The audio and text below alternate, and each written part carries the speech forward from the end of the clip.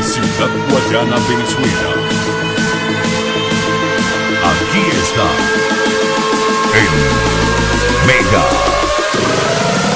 Soundgarden.